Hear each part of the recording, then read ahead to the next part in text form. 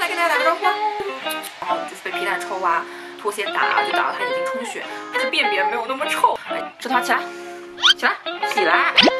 没得上，没有到的，有外打过第一针了。然后这个是医生。Hello Hello，大家好，我是 Crystal，好久好久不见啦。那今天视频的主题呢很有意思，相信大家已经看到标题了，没有错，就是我收养了一只狗狗，然后它的品种呢是挪威猎鹿犬，它大名呢叫 Jony，小名呢叫啾啾，今年已经一岁多啦。Jony 来跟大家打个招呼。Jony 镜头在这里，你怎么啦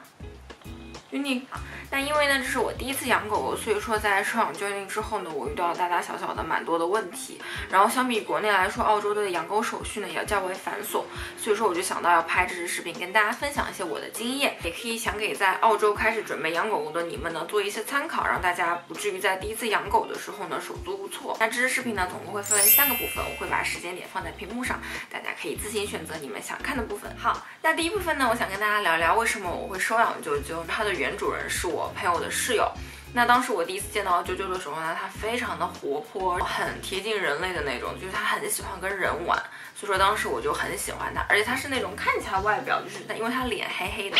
就可能外表看起来是比较凶的那种，但其实你靠近它，你发现它的眼睛是非常非常可爱，就是非常傻乎乎的那种狗狗。有一次我接到我朋友的电话，说啾啾被它原主人打了，然后就是被皮带抽啊。拖鞋打就打到他眼睛充血那种，然后啾啾被吓得就是满地乱跑，然后乱尿，这样就是等于大吓到大小便失禁了嘛。就因为啾啾是很乖，它只会在你出去遛它，或者是你把它放到后院的时候，它才会上厕所。那后来呢，正好有假期了，所以我就跟我男朋友一起回阿德见见我朋友，就顺便再见见啾啾。我当时看到啾啾的时候呢，它是完全散养在后院的，就是整个狗呢是那种就是脏兮兮的，大家知道吗？后院嘛，就有草啊，然后有土啊什么，它就会滚来滚去，然后它就一直是待在后院的，所以它浑身很脏，然后毛也没有梳，就各种毛都打结在一起了。然后它吃的东西呢，就是。啊，超市自产的那种狗粮，我没有说是便宜的东西不好，但是大家可想而知，一个几刀就可以买到一大袋的狗粮，怎么可能会对狗狗身体好呢？它只能保障的是让狗狗饿不死。当时我就跟我朋友聊说，为什么它主人要这样子对它嘛，然后就有跟我聊说，因为啾啾小时候它非常的可爱，很小只。然后它的原主人呢也是很喜欢它，但是随着它一点一点长大，就是可能没有那么好控制了。然后它的原主人也没有好好的训练它，那啾啾有的时候就会犯一些错误。那狗狗嘛，本身就是你要去训练它，你要去教它，它才会知道什么该做，什么不该做。所以说呢，它的原主人对啾啾这样的原因，主要原因就是因为随着啾啾的长大，需要它用更多的时间去陪伴和耐心去训练它的时候呢，它就。没有耐心了，然后也没有那个责任心了，就觉得怎么这么麻烦，要去照顾一只狗狗，而且啾啾相对来说是中大型犬，所以说需要的每天需要的活动量也比较大，需要每天带它出去溜溜，或者是带它去狗公园这样。那后来呢，我就跟我男朋友商量，就说那既然这样的话，我们就收养啾啾吧，因为本来我们就有养狗的打算，只是。呃，就一直在想，一直在讲，但是都没有实际去做。那既然我们算是一个缘分吧，我们遇到啾啾了，那我们就给它一个更好的生活。因为我们之前从来没有养过狗狗，一只活生生的一个小生命闯到了我们的世界里面，然后所以说就会让我们的生活节奏有也会有一些改变。那带它出去遛的时候呢，就会有一些之前原主人没有好好训练它的问题呢，就逐渐显现出来。比如说啾啾它会咬牵引绳。就是我们在把绳子挂它脖子上的时候，它会反过来去咬它，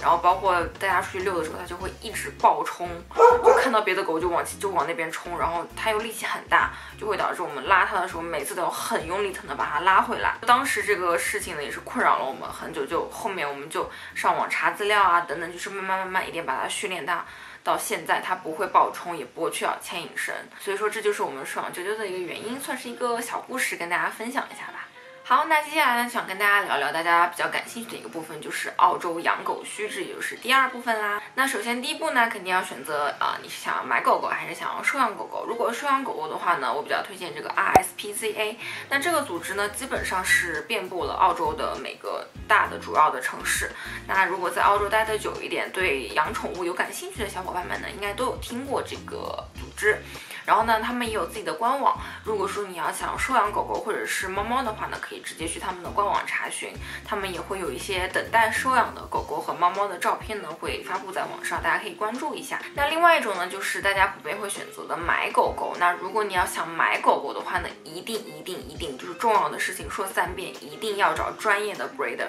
如果说你找的是专业的 breeder，靠谱的 breeder，那你之后。会省很多心。那为什么我说要找专业的 breeder 呢？如果你找的是专业的 breeder 的话，他在给你狗狗之前，他就已经打好了狗狗所需要的第一针疫苗，预防犬瘟啊等等这些比较对狗狗会生命造成威胁的一些疾病。那我也可以给大家看一下，这是啾啾的一个算是他的一个小资料册吧。然后这个呢是他的妈妈，这个是他的爸爸，就是他爸爸妈妈呢都是秀犬，然后是非常健康的犬种。这就是为什么说一定要找专业的 breeder，这样的话呢你。对狗狗的健康呢也会有保证，那同时呢，他也会给你出示一个证明，证明他已经带过这个狗狗去外打过第一针了，然后这个是医生，然后包括一些呃医院的电话、联系方式什么都有，所以这样子的话呢，你会比较放心，就是你不会买到星期狗或者是星期猫。那星期狗、星期猫，我相信大家都有听过，就是你的狗狗或者是猫猫买回来就不到一个礼拜就。走了，那原因呢，就是有非常非常多种。那从不靠谱的 breeder 私人买家那里买过来的，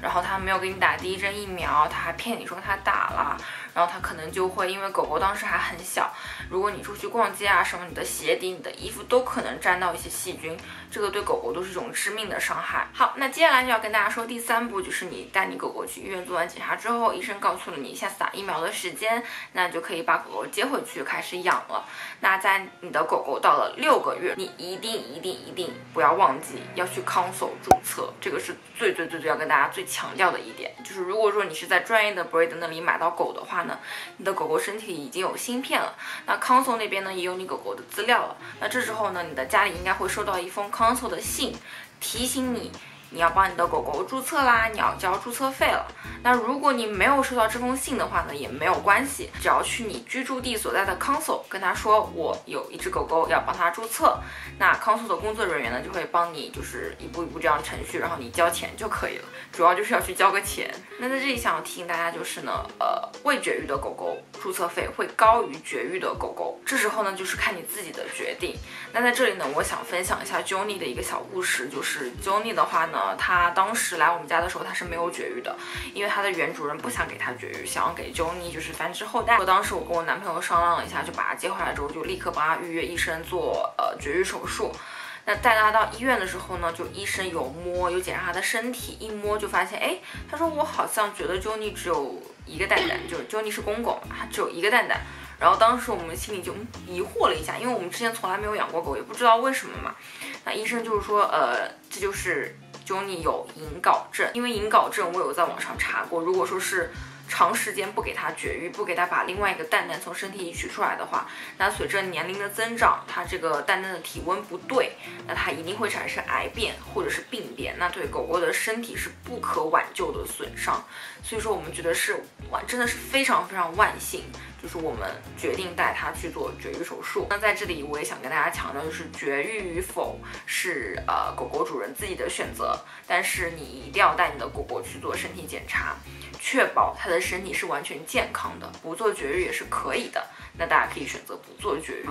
那以上呢就是一些澳洲养狗的须知，听起来虽然手续比较繁多一点，但其实呢，你只要这样一步一步呃做起来的话呢，其实在澳洲养狗也是非常方便的。只要前期做完了这些准备工作，后期的话呢，你就可以安安心心养狗啦。好，那最后呢，就是想跟大家推荐一些狗粮，就是一些基础狗粮，我自己认为还不错的。我一开始养啾啾的时候呢，我就遇到了一个非常困扰的问题，就是我不知道应该选什么狗粮。就是我走到宠物店里面之后，我发现琳琅满目，各种品牌，各种。种类型的狗粮应有尽有，所以说完全不知道。然后我就有在网上做一些呃调查，然后也有问过一些宠物店的工作人员，然后在给啾啾尝试了一些狗粮之后呢，我发现有两种狗粮我自己觉得还是不错的，就是这两个牌子。一个呢是 Advance，一个是这个黑鹰。我相信黑鹰的话，不管是在澳洲还是在国内的大家应该都有听过这个牌子。因为黑鹰的话呢，它在国内的话，它是有它自己的淘宝店的，就是已经慢慢引进国内了。那 Advance 呢，基本上我在淘宝上面是没有搜到这个牌子的。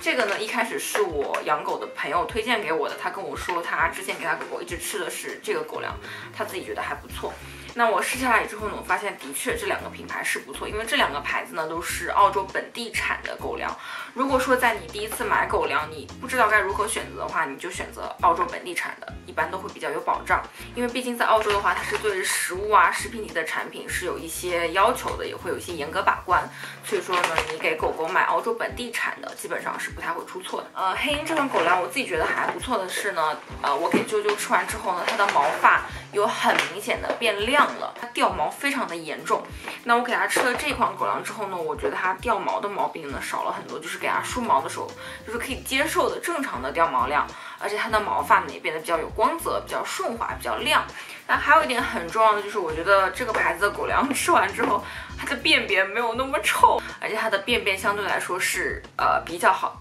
非常好捡的。就不是不会有软便的情况，希望大家不要觉得我恶心。就是你如果在吃饭的话，先跟你说一声不好意思啊。因为一款好的狗粮就是可以从狗狗的便便当中看得出来，就是它没有拉肚子，它没有软便的现象，它的呃便便的成型度非常的好，就很容易捡起来。那这个狗粮呢，证明这个狗粮对你狗狗的肠道呢是比较好的，就没有造成它拉肚子的这个问题，所以这个比较好。还有一点呢是，我觉得这个狗粮的大小非常适中。那我给它买的呢是这个非常基础款的一个呃鱼。和土豆味的，然后呢，它是适合所有的狗狗品种，就是不管大的小的，就是所有的狗狗品种都可以吃，只要它是十二个月以上的狗，就都可以吃这款狗粮。像这一颗大的呢是 Advance 的粮，然后这个呢是黑鹰的粮，我可以给大家做一个对比，大家可以很明显的看到，就是 Advance 这个粮呢是。比较大颗的，就是已经相对狗粮里面算非常大颗的了。然后这个的话呢是呃黑鹰的这个牌子，它的狗粮呢就是大小比较适中，就是大型犬、小型犬都可以吃。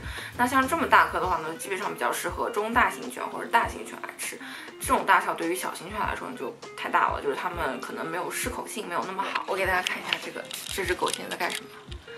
四脚朝天躺在这里，吃不吃？你要吃吗？吃的话起来，起来，起来。A few moments later，起来一下，就你，能不能起来一下啊？起来一下，好不好？躺着就想吃东西，你也太舒服了吧？不给，没有就是没有了，不给你吃就是不给你吃了，没得商量，还没有到你的晚餐时间。那为什么我会比较推荐这两款作为呃新手主人入手呢？因为这两款狗粮相对于其他狗粮来说，它没有分的那么的细。这两款狗粮的话呢，它就是没有那么多的选择，它比较相对来说比较好选择。它最多的呢就是分大犬种和小犬种，或者是针对于所有犬种都可以吃的。那这样子呢，你如果觉得一开始不知道选什么的话，你就可以跟我一样，直接选择对于所有品种都可以吃的。那只要选择它喜欢的味道。那还有呢，就是想跟大家推荐另外一样东西，就是洁牙棒，就是这个是家家有狗必备的，一定要就是给它吃的洁牙棒。因为狗狗的牙齿呢，一定要保持它的牙齿健康。这里呢，我想跟大家推荐就是这两个，我给呃比较推荐，比较也给 Johnny 吃过的这两个牌子。那这个 g r e e n e s s 呢，这个牌子的话呢，是是澳洲宠物店基本上每个宠物店都会有的，是一个非常家喻户晓的品牌。那这个话呢，我这个叫什么？这个威。这个我不太会念，但是我会打一下。如果是你家的狗狗，呃，是小型犬，或者是牙齿不太好的狗狗的话呢，我比较推荐 g r e e n e s s 这个牌子。这个牌子呢，我就比较推荐，如果你们家狗狗是大型犬，或者是像中大型犬，牙齿比较锋利的猎犬的话，我就非常非常推荐这个牌子。因为 g r e e n e s s 这个牌子虽然它是比较有名的，但是我发现它有个问题，就是它的洁牙棒太软了。因为它，你看，大家可以看得到，就完全可以看到，我这样一掰，大家都可以看到，非常的软，就它可能两三分钟就吃完了，而且还是不需要手脚并用，就一咬就可以咬下来的那种。如果说跟啾啾一样是猎犬，然后是大型犬，牙齿比较锋利的话呢，就选择这个牌子的，因为大家可以看一下这个牌子的话呢，它硬度是比较硬的，然后啾啾吃它的话，有的时候基本上会吃到十分钟。十分钟左右，所以说这个我觉得很好，这个就是可以全面的清洁它的牙齿。所以说这两款洁牙棒呢，我觉得它都是比较还不错的，只要是你根据你自己狗狗的犬种来选择就好。好啦，那以上呢就是这支视频全部的内容，我终于跟大家聊完了，非常非常感谢耐心看到最后的大家，因为这个视频呢是一个纯聊天的视频，我也不知道大家是不是喜欢看这种。那欢迎大家在下方留言，你们有没有什么养狗的小 tips，或者你们有什么推荐的狗粮，也可以在下面告诉我，我也可以给舅舅买来让他吃吃看。如果大家喜欢这期视频的话呢，别忘记给我主人点一个赞哟。然后呢，也欢迎大家可以关注我的频道，这样子我每次更新视频的时候呢，你们就可以看到啦。好了，那非常感谢大家的观看，那我们就下期视频再见吧，拜拜，拜拜。小你跟你瞟我是不是？跟大家说拜拜，跟大家说拜拜，下个视频再见。